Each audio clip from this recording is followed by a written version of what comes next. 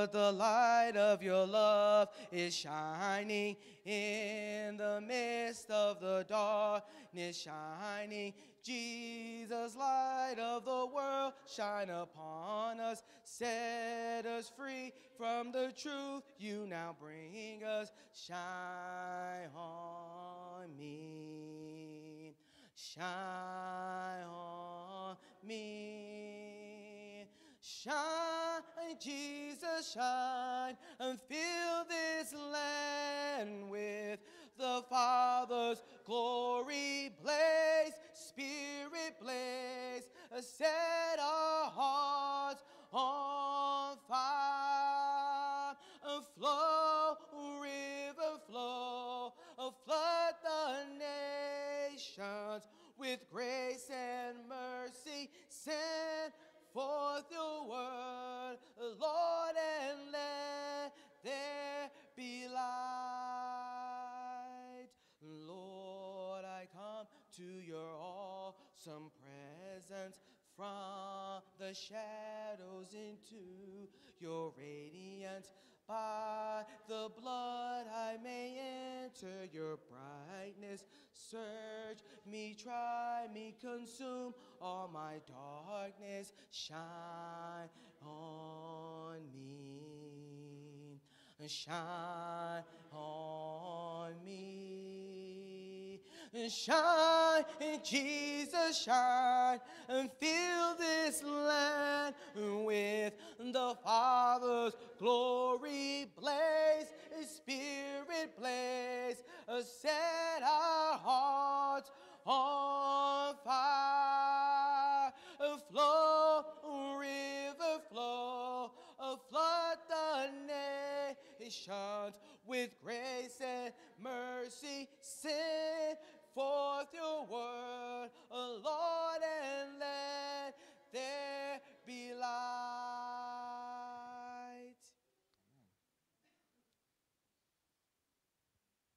Christ alone, as we prepare for our communion, in Christ alone.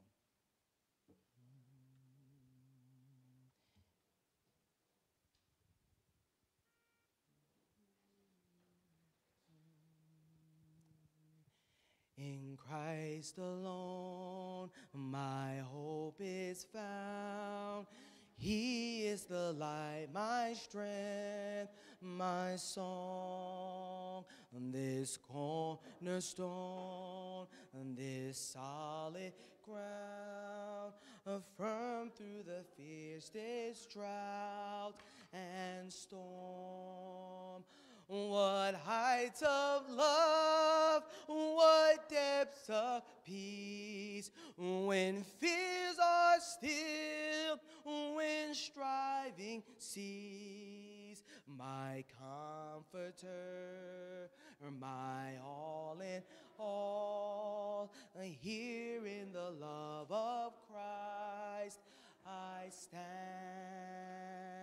in Christ alone, who took on flesh, fullness of God in helpless babe. This gift of love and righteousness, scorned by the ones he came to save till on that cross as Jesus died, the wrath of God was satisfied for every sin on him was laid. Uh, here in the death of Christ I live, there in the ground his body lay, light of the darkness slain, and then bursting forth in up from the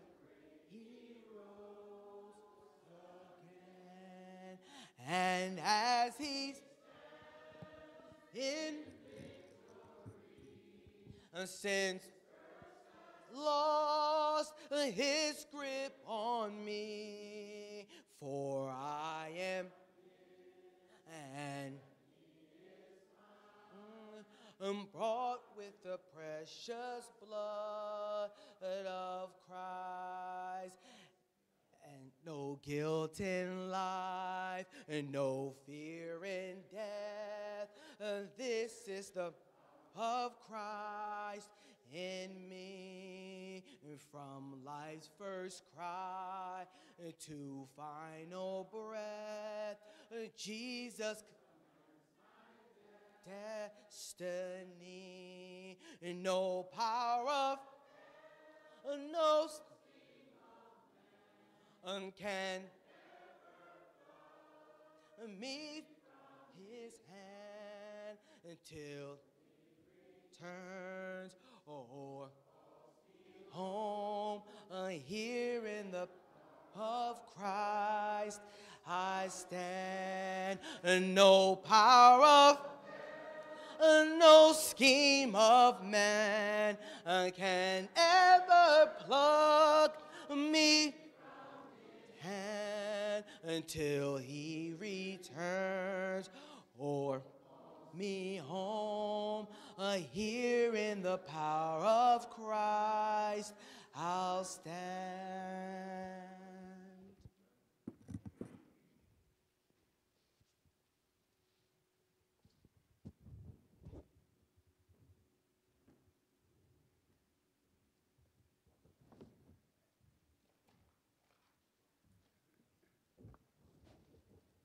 Today, we're going to celebrate two feasts. Have opportunity twice today.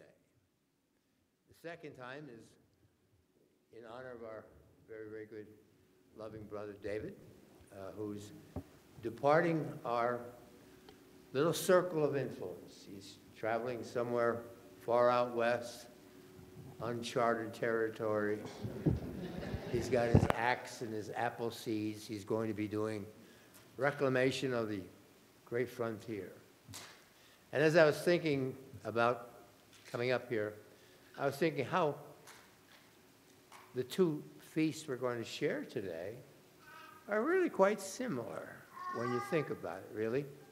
Uh, we're saying goodbye to someone that has been uh, very much in our hearts, uh, someone that we love very much, much like the apostles when they were having the last meal with Christ, when they were saying their goodbyes to him, because he was going off unto a pursuit of his own.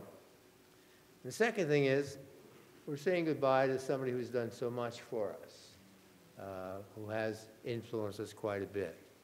Now, David, that's not meant to elevate you to the presence of our Lord. You're way down here, you know that. way down here.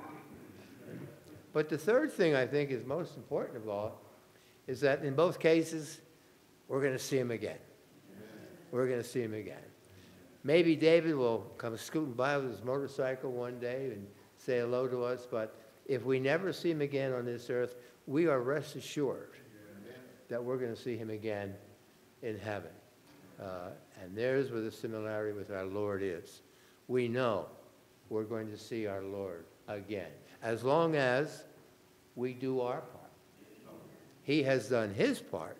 Now it's up to us to continue to fight, to continue to strive, to continue to live the lives that we need to live in order to see him again. So, as the apostle said, Godspeed to, to the Lord, we say Godspeed to David.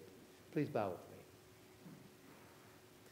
Father, as we commemorate the uh, Last Supper that uh, your son had with those that he loved so much on this earth, uh, and as he met with them and as he memorialized that meeting by offering them the bread, uh, offering them the fruit of the vine, uh, and gave them a celebration uh, of remembrance of him, so every time they took uh, the loaf of bread and every time they took uh, the fruit of the vine, they were doing it in a solemn remembrance of the love that he had for them, the love that he, they had for him, for all the things that he had done for them, the teaching, the love, the instruction, and also for the fact that they were going to see him again, and he knew that. And that's why, Father, we strive to be your children so that we too uh, can uh, attain life everlasting with your Son. And now as we prepare ourselves, Father, to take uh, the loaf, uh, we pray, Father, that taking the nourishment in the form uh, and the resemblance of your Son's body, uh, as he told us to do, and, and he imparts into us his spirit. We're so thankful. We pray that we can do it in a way that is loving uh, and intended to be uh, taken by you. Uh, we thank you for this opportunity, uh, and we, we know that you're blessing this gathering as we take this meal. In his holy name we pray. Amen.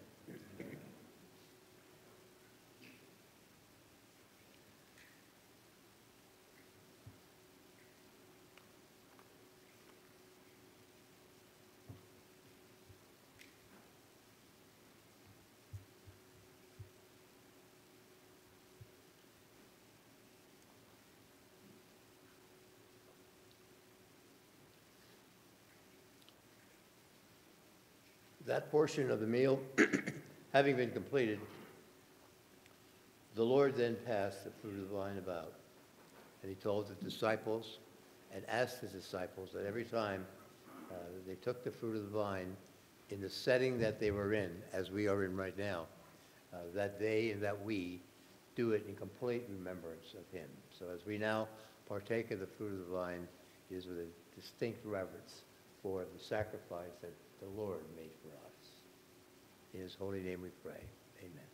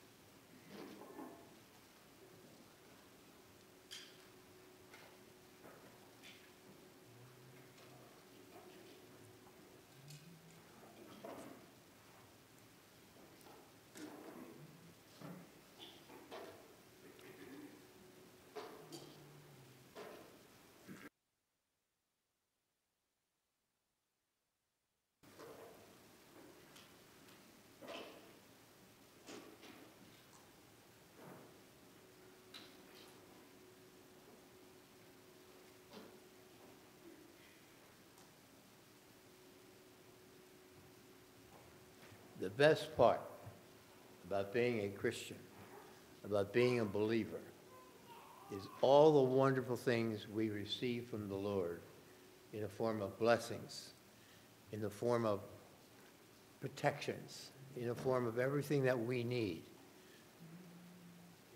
Second part of that is having received all these blessings, it's our obligation to share what we've received to assist those that perhaps haven't received as much as we have received. And that's why we have outreach programs with the church, trying to help those more impoverished than us. As part of our duty, it's part of our obligation. So as we prepare to do that, to share what the Lord has given to us, let us bow and pray. Father, we're so thankful for all that you've given to us. We have been blessed beyond measure the things that you have allowed us to have, to obtain, the lives you've allowed us to live, has enhanced our existence on this earth. We pray, Father, that as we turn a portion of what you've allowed us to accumulate, we do so in a giving and loving manner, because we know that not only is it good for us to receive, but it is better for us to give. We pray, Father, we do it in a way that is pleasing to you and we pray this in your Son's holy name. Amen.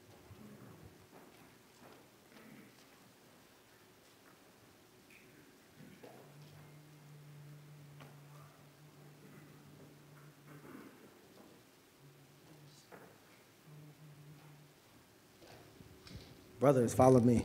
We start.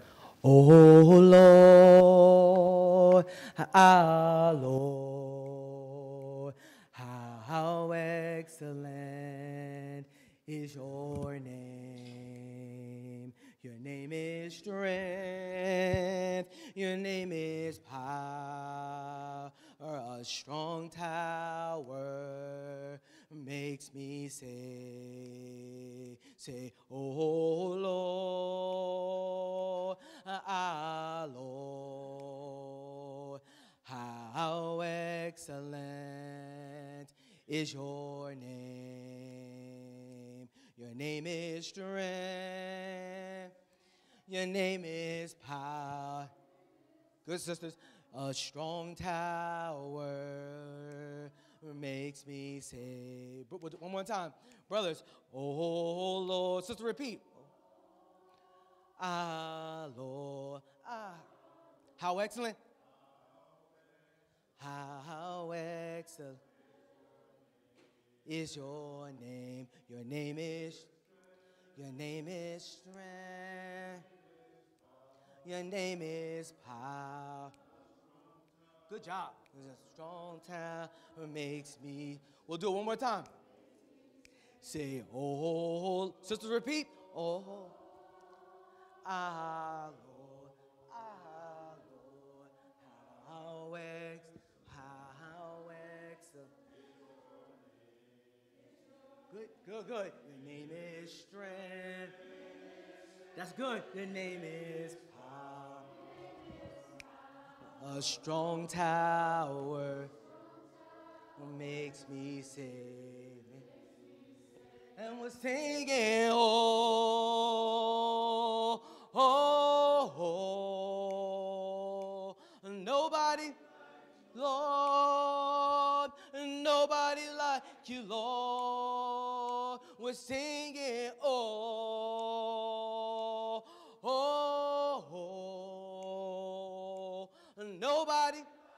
Lord, nobody, nobody like you, Lord. We're crying, oh, say, oh, oh, oh, nobody, nobody. Nobody like you, Lord. Nobody like you, Lord. Say, oh, now, oh, oh, oh, Lord.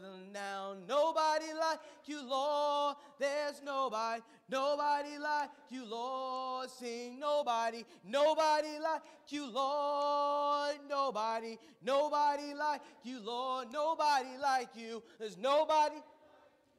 Nobody like you, Lord. Nobody like you, Lord. There's nobody, nobody like you, Lord. And nobody like you, Lord.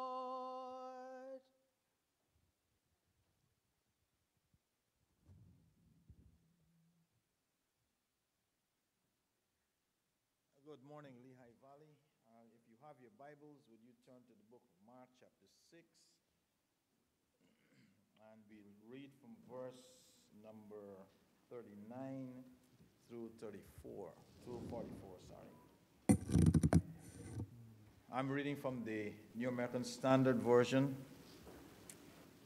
uh, beginning verse number 39. And he commanded them all to recline by groups on the grass. And they reclined in companies of one of hundreds and of fifties. And he took five loaves and two fish, and looking up toward heaven, he blessed the food and broke the loaves, and he kept giving them out to the disciples to set before them. And he divided up the two fish among them all. And they all ate and were satisfied.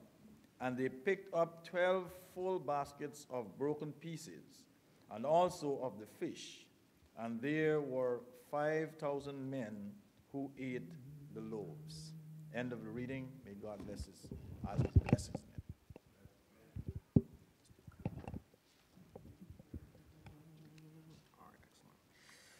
Let's stand. Let's, if you're able and willing, let's stand for this song.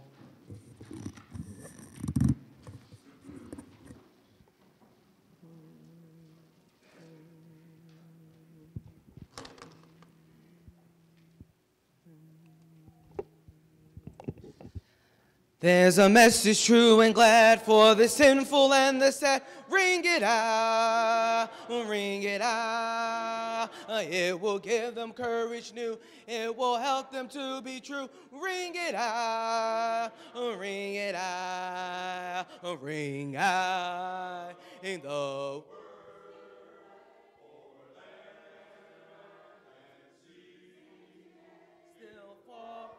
Jesus. Many live in sin and die.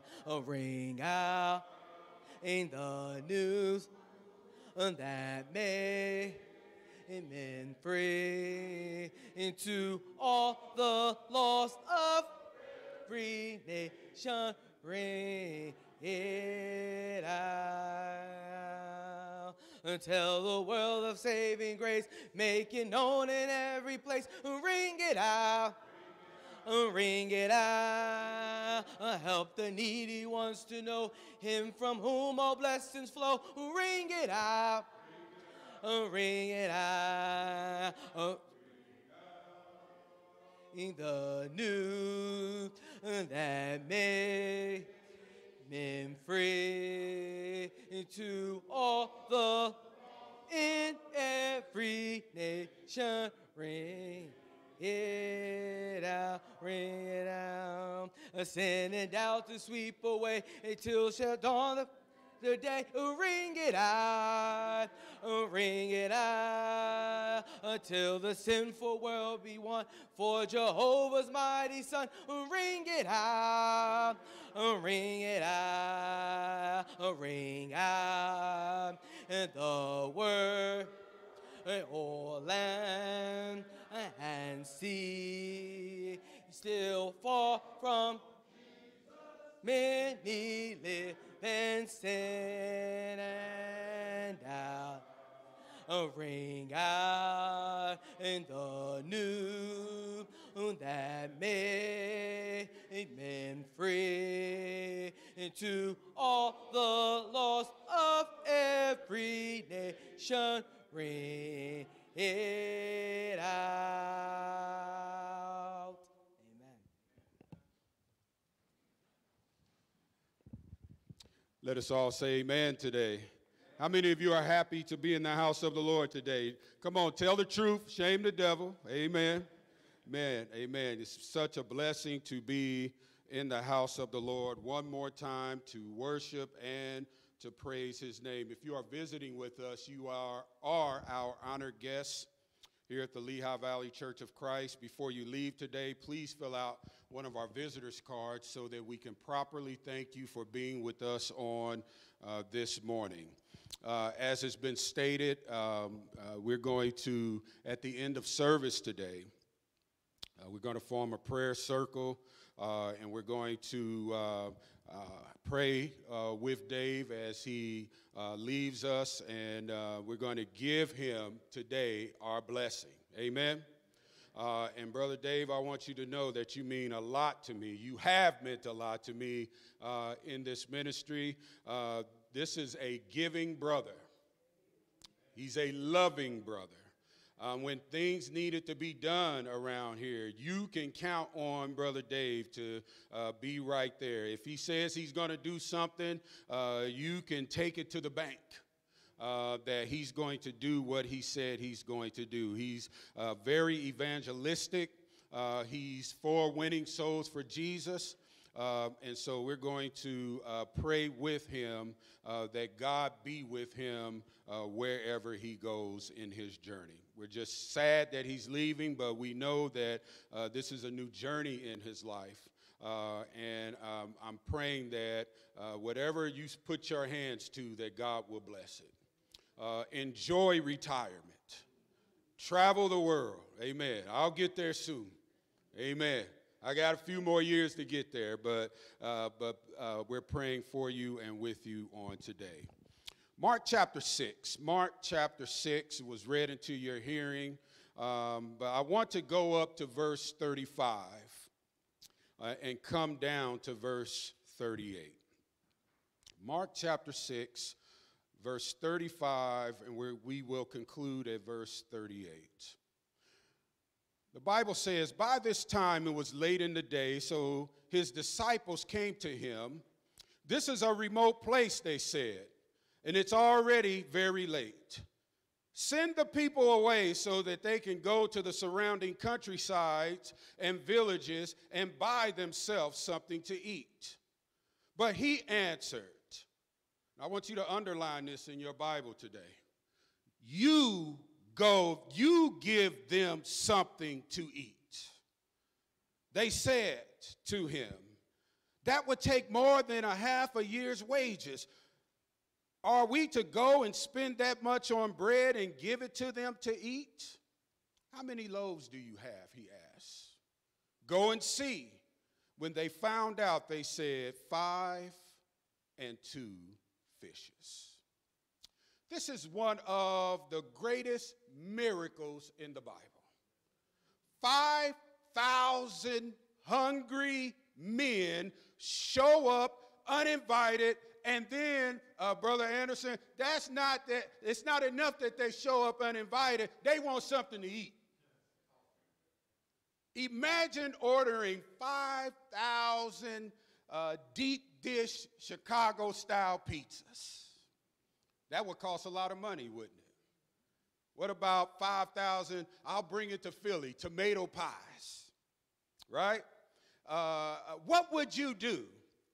The people are tired, they're hungry. Now, I want you to see this is 5,000 men. It's not counting the women and the children. And history says when you begin to count up the women and the children, there was 10 to 15,000 people there. The local Burger King is closed for remodeling. The nearest Chick-fil-A is in Jerusalem. Pizza Hut don't deliver to the wilderness. So the disciples, they, Brother Larry, they make this suggestion. They said, send them the way, uh, send them away and let them go get their own food. In other words, let them go and feed themselves. That's logical, right? See, the suggestion I want you to see, it's not made from bad motives in themselves, the disciples had no resources to meet this enormous need. Listen, they had no food, they had no money. Where else could they do? They could do nothing. And one of the disciples came to Jesus that day and asked, Where could we go to get enough bread for all these people to eat?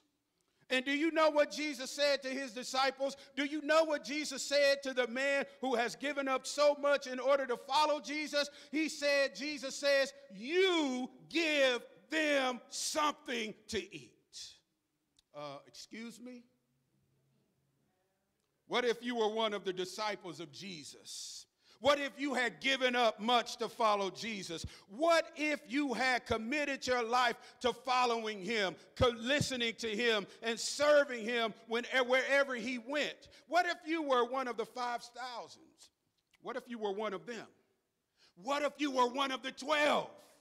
What would you do? What, would, what if you came up to Jesus and asked, Where are we going to get these people something to eat? Here's what Jesus said to the group He says, You, you give them something to eat. And I love it when Jesus says that. He says, you give them something to eat. And it's somewhat funny because the disciples has just gotten through explaining why they can't feed this massive crowd. And one wonders if they were thinking something like this. You want me to feed this crowd? This, these 5,000? You got to be kidding me. Didn't you just hear what we just said? We don't have any money. We don't have any food. What we have here, uh, brothers and sisters, is a failure to communicate. But Jesus wouldn't let these men off the hook. He wants them, and this is what he wants from you and me today. He wants them to get involved in the great adventure of helping other people. Me? Me, Jesus? Give them something to eat? I thought Jesus was the great miracle worker. I thought Jesus could fix anything. I thought Jesus could solve any problems. I thought Jesus could change any circumstance. Let's just turn it over to Jesus. After all, isn't that what we sing about on Sunday mornings? Turn it over to Jesus and he'll work it out. Is there anything that we need? Let's turn it over to Jesus. Well, there's some truth to that attitude, of course. But Jesus' first response to the disciples surely must have stunned them, Brother Tom. He says, You give them something to eat. Jesus turns to his disciples, to the people who have shown their commitment to him, to his followers, and he says to them, You give them something to eat. That doesn't help the situation at all. Why won't Jesus act immediately? Why won't Jesus do uh, what me or I, a disciple of his, have asked him to do? Why, does it, why did he turn the question over to me? Why does Jesus turn the need over to me? This is how Jesus often works with his followers. Over and over again, he puts us in a situation or in positions where we are helpless and he says, Do something. In our desperation, we cry out to heaven, How am I to do something? I am out of money. I'm out of resources. I don't know what to do. And then he says, I'm so glad you asked. When you come to the end of your resources and you don't know what to do, this is when Jesus comes in and he says, Oh, I can now work with you. It's not that Jesus wants you to fail, but he does want you to know that without him, we can do nothing. Our success in this life as a Christian depends totally upon him. Matthew 19 and 26. But Jesus beheld them and he says to them, With men, this is impossible, but with God, what? All things are possible. John accounts of this miracle tells us that it was Andrew who found the young boy with five loaves and two fishes and brought him to Jesus. Now, when I say five loaves and two fishes, don't think of Sara Lee. Amen. Don't think of Wonder Bread. And when I say fish, don't think of perch. Don't think of whiting. Don't think of cod. Amen. I want you to think about crackers and sardines. Amen. And he brought this to him. And we should not miss the obvious lesson here. Don't ever despise the day of small things. Just because something is small, we talk about five barley crackers and two sardines. See, back in the day, Brother Phil, that was, that was lunch, right? Uh, uh, and just because something is small or seemingly insignificant doesn't mean God can't use it. He used the baby tears to attract uh, Pharaoh's daughter, and the infant Moses was saved from uh, a certain death. And later, he used Moses' rod to deliver the children of Israel. And later, a teenage boy named David used one smooth stone to defeat mighty Goliath. Now, Jesus, he's about to feed 5,000 men with five barley crackers and two sardines. See, size doesn't matter with God.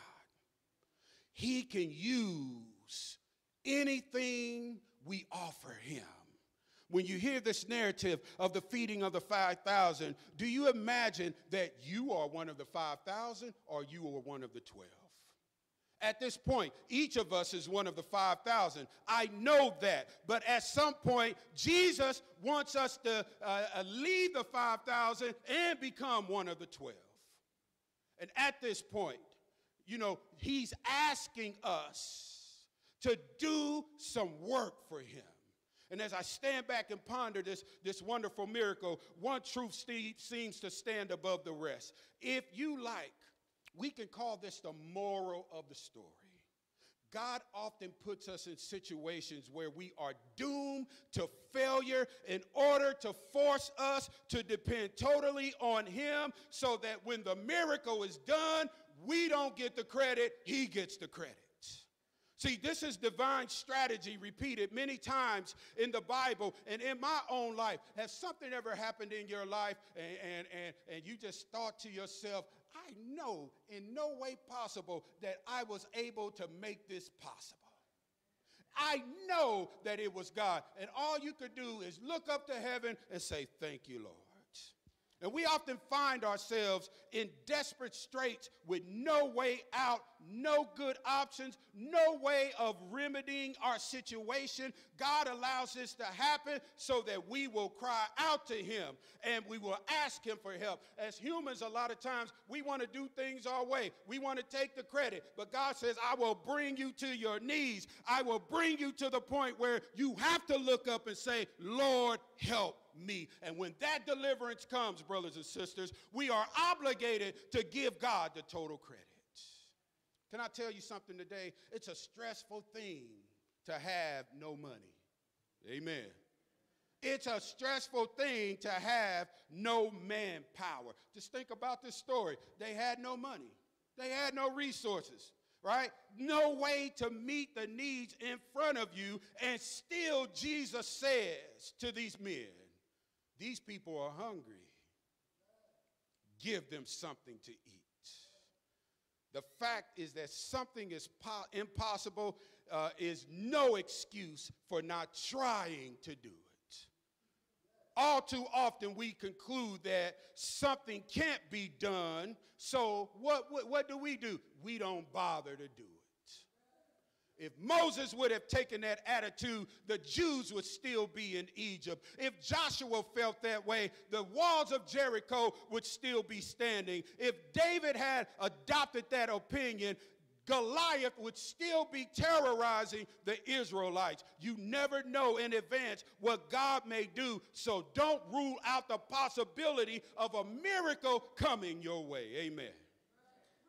If you are a disciple of Jesus, you will need to hear the response from him. Sometimes we have so much noise in our ears that we are not even listening to the voice of God. When you are asking God to feed the hungry, when you are asking God to heal your family, when you are asking God to comfort the sorrowful, when you are asking God to intercede in the world, when you will hear the same response that Jesus gave to his disciples, he says, You Lehigh Valley, you, Lehigh Valley, give them something to eat.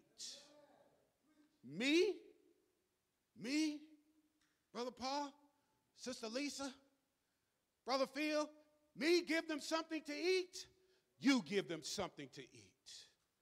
There are no other arms of legs uh, of Jesus. The arms and legs of Jesus, look in the mirror every day. You are the arms and the legs of Jesus. It's only us. We are the representation of Jesus. Those of us who really do want to follow him. Do you want to follow Jesus today?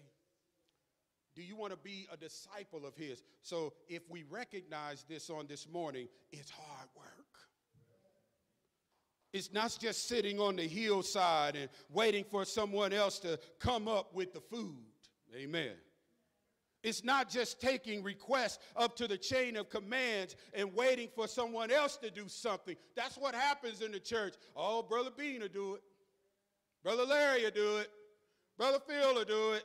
Brother Dave will do it. No, it's up to you and me. If you can do it, you do it.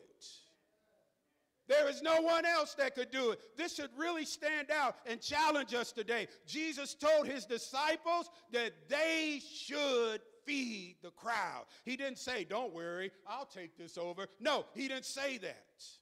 He said, You feed them. For Jesus, it was rather simple. There was a large group of hungry people. uh, uh, you ever heard the you ever heard the Campbell soup commercial? Uh, hungry. These men were hungry. And Jesus says to them, You give them something to eat. There was a need. What do you need? You meet the need. This is what ex- is expected in the kingdom of God. See, the church is never meant to be a country club where all we do is entertain ourselves. We are here to have our eyes open to the needs of the people in our community, and we are to have a willingness to meet those needs. Our starting point is not to be what our resources are. Amen but rather what is the need. let me share something with you that, that is so profound in the life of our church. We're, we're not this big church that uh, has warehouse space uh, like a lot of these feeding organizations. But when people call 211, Brother Phil, guess where they are led to first? Right here. They are led right here. And listen, when people come and they have a need, what's our need? Meet the needs. And that's what we are to do. Let's meet the needs with the help of Christ. We are not alone. We are co laborers. That means we're all in this together. Amen. And although we need to start with the needs, at some point we have to deal with the limited resources. And even if the disciples had taken the initiative, they would have acknowledged that there was only five loaves and two fish. However, limited resources are not the end of this story. One of the lessons of this narrative is limited resources, Brother Larry, plus Jesus equals more than enough. He is more than able. Yes, yes, he is more than able. The disciples were never expected to feed the crowd in their own power. We as a church are never expected to minister to our community in our own power. We need to look at our limited people, money, time, or whatever resource and invite Jesus uh, to multiply it. If that sounds too spiritual for you, we need to remember that Jesus had done many things in the past in this church for us to continue to do what we do. Amen. All we can do is bring what we have and present it to Jesus. And once our limited resources are put into the hands of Jesus, listen, anything is possible. Other seeds fell into good soil and they grew up and what? Increased. They yielded a crop and produced 30, 60, 100 fold. God asked us to do the impossible. And then He gives us whatever we need to obey His command. The reality is, believers, as believers, we have stopped believing in the impossible. That's what we do. We serve a big God. How many of you believe in a big God? Amen. Both our hands should be up. And if our feet could raise up, our feet should be raised up. Amen. The reason why we are limited is because of our mindset. We say, we, we look at what's in front of us and then we have no faith. And God says, if you have little faith, I'm going to give you little. But if you have big, Listen, nothing is impossible to God. Jesus said to him, If you can believe, all things are possible to him who believes. The word for believes is a participle that literally translates as the believing one. Jesus provides the means for everything to be possible. But you must believe, though. Faith without works is what? Dead. Right? If we misunderstand the statement that all things are possible to him who believes, then what we are doing is setting ourselves up for disappointment. Jesus' words are not a promise that we can do whatever we want, but rather he makes it clear that the believing one has the power only due to whom he believes in, namely Jesus, the Son of God. There's power in God's name. And it's access through faith and prayer according to his will. Let me show you some events in Scripture that Jesus often told people to do the impossible. John chapter 5, he told the lame man, Rise, take up your bed and walk. And this man had been sitting by this pool for 38 years. That means, that tells me that whatever you're going through in your life, uh, uh, uh, it doesn't matter. How long you've been going through it doesn't matter. God says, Rise, take up your bed and walk. To the le- 10 lepers, he said, Go show yourself to the priest. To the dead man, he cried out, Lazarus, come forth. If he would have just said, Come forth, everybody would have came forth. There's a sense in which every command of God is impossible for us to obey. We always lack what we need to obey God's command, but God is faithful to give us whatever we need when we ask. We have not because we ask not. What God demands, He supplies. He's not just going to see a good company manager, a good leader, good HR department, right? When they hire you for your job, what do they give you? A handbook right? And that handbook spells out everything that is expected of you. And then once they give you a handbook, uh, they, they, they give you some tools, prayerfully, amen, that you need in order to successfully do your job on a daily basis.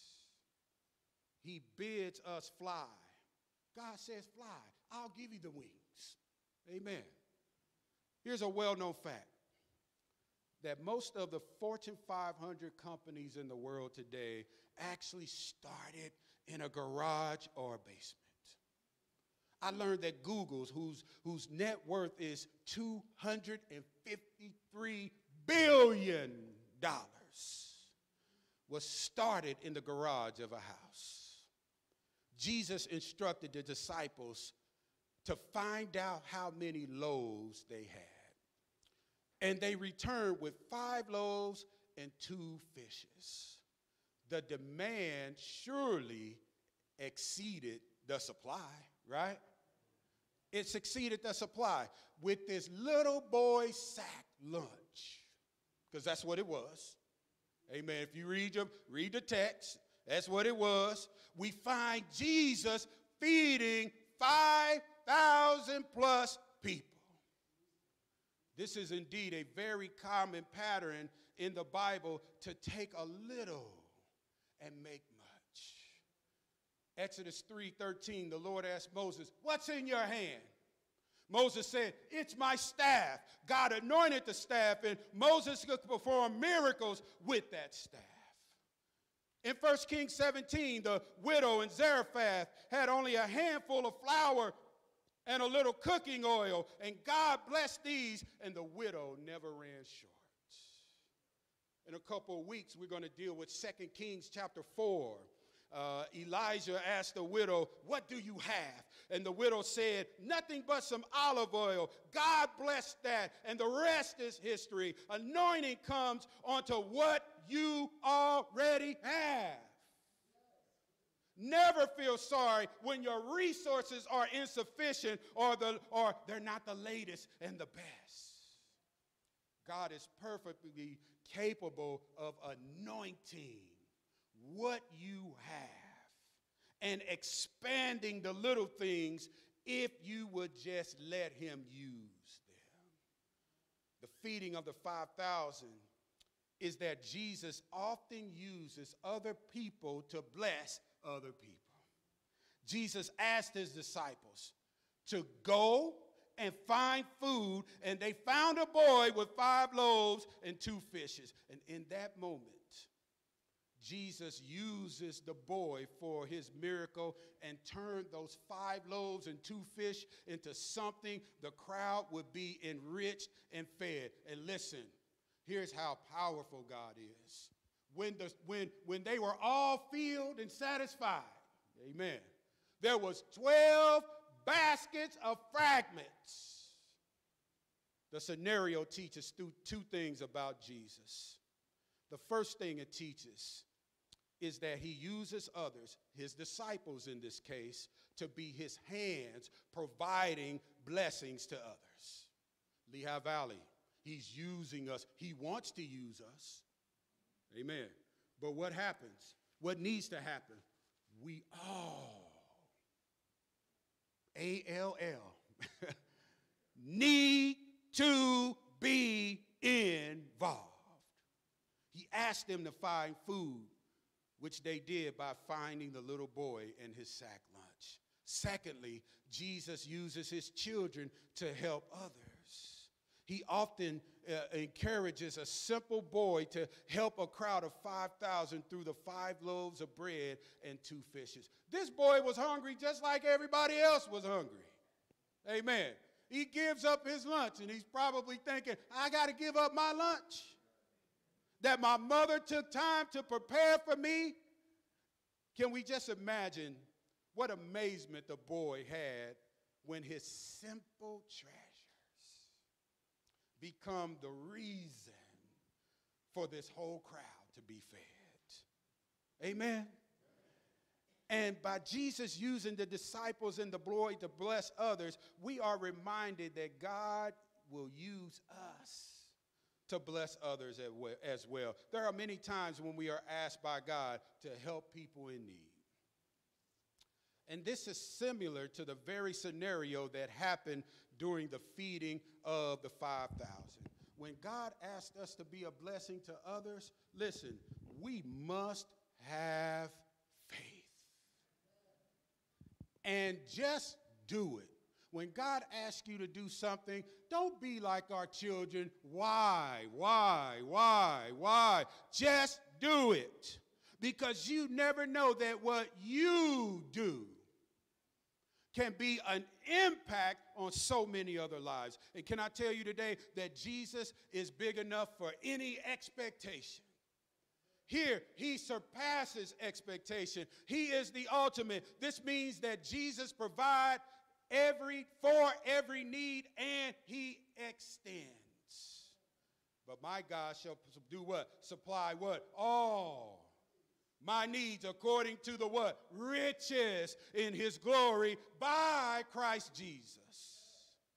Jesus' feeding of the 5,000 is a gentle reminder to our daily Christians' lives that nothing we face, nothing is too big for God.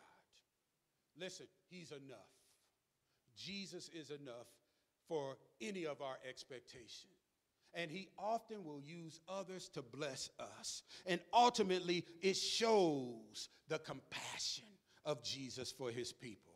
And through this miracle of the feeding of the 5,000, we are reassured of Jesus' love for us. One author wrote, I remind you that every miracle began on the platform of a problem. I dare you to find a miracle that did not begin in a problem. If we could ever see that, we would have an entirely different attitude towards our problem. Look at the first miracle in John chapter 2. What happened? They ran out of wine. So Jesus says, Oh, there's no better time for me to demonstrate who I am. So he says there were six water pots, and these water pots were generally for ceremonial washings. And he told, and he told the, the people that worked there, he said, Go get them water pots. The problem wasn't the water, Jesus. The problem is wine. He says, I want you to put so much water in there, and I wanted, I wanted so much in there that nothing else could fit. And that says to me that we need to present ourselves as empty water pots. The problem was that they ran out of wine. But Jesus worked a miracle, didn't he? I explained to you John chapter 5, the man that sat by the pool. That was a problem. Jesus turned it into a miracle. And problems are those situations, listen, they're engineered of God to bring us face to face with our deficiencies so that we might view his sufficiency as our only alternative. See, when you're going through something, stop turning on the TV, stop stop scrolling the internet and just get on your knees and pray. we should learn. Now, I'm going to say something that you're going to go home and say, Brother Bean, you must be out of your mind. We should learn to love our problems. Amen. Every problem is an opportunity to trust the Lord and to watch Him step into our circumstances for His glory. You have a problem today? Good. Amen. God can solve your problem. God can take our problem and then He can turn it into a blessing beyond our. But what do I need to do today? I need to go out.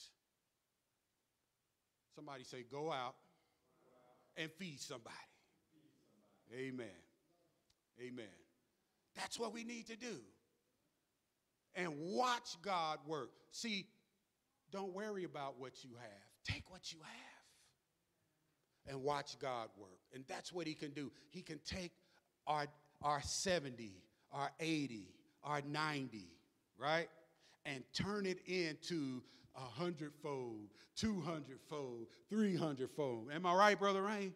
Yes, he can do that. Don't worry about that. Just watch God work. He's going to take Brother Dave, he's going to put him in a new community, and he's going to allow Dave to go out and feed somebody, and, and he's going to bless Brother Dave's work. And Dave's going to call us and say, uh, Brother Bean, uh, uh, he said, uh, uh, I, have been working on this and that, and God has multiplied, and that's an extension of us. Amen. So play, take Mark chapter 6, verse 32 through 44 in your personal time with the Lord. God will bless us tremendously if we all get involved in the work. God may be holding black, back blessings upon us because we're not all involved. So let's get involved. There's enough work to be done. God has gifted people in this congregation. All of us are gifted. And God, I may ask you to do something in this congregation, it's because God has given me the eyes to see something unique in you to use it for the glory of his kingdom. Don't run from it. Amen.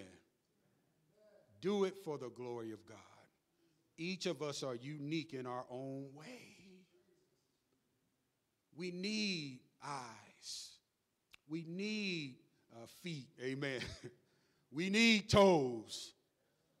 We also need people with heart, with nerves right? Those things that, uh, that you don't see that uh, uh, it, would, if they begin to misfunction, then we really know something is wrong with the body.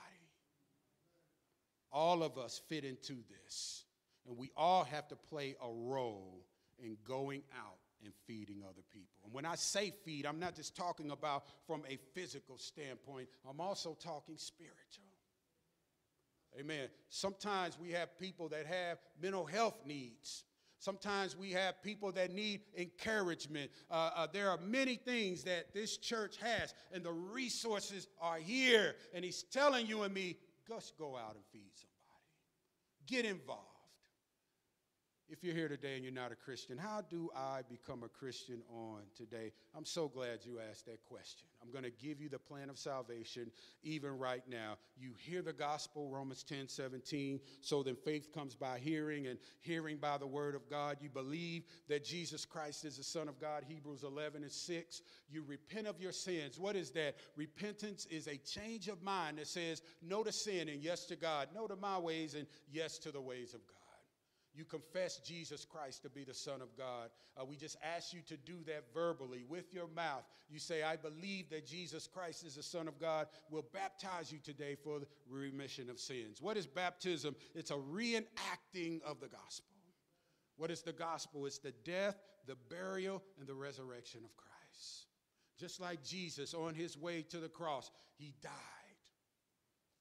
on that old rugged cross. They buried him. But that wasn't the end of the story. He resurrected. In your obedience to that on today, you will die. We will bury you in the liquid grave of baptism. you'll come out resurrected to live a new life in Jesus Christ. Listen, that's how you become a Christian on today. And if you need the prayers of the church, listen to me.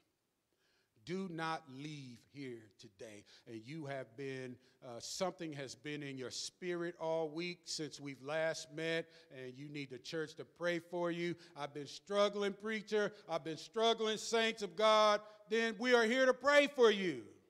This is a no judgment zone. This is the hospital. This is the spiritual Lehigh Valley uh, Hospital. This is the spiritual St. Luke's. Amen. When you need healing, you go to your doctor. We put more, uh, we put more into our physical than we do our spiritual. But listen, we're here for you today. We want to connect with you. We want to pray for you. Why? James says it this way the effectual fervent prayers of the righteous avails much. There's enough righteous people in this room to get a prayer up to God. Amen. Amen. So if you need to become a Christian on today, don't leave here the same way you came in. You can walk out of here a new, creature, a new Christian in Christ Jesus. If you need prayer, it's not too late to fill out a prayer card. Let's together we stand and sing.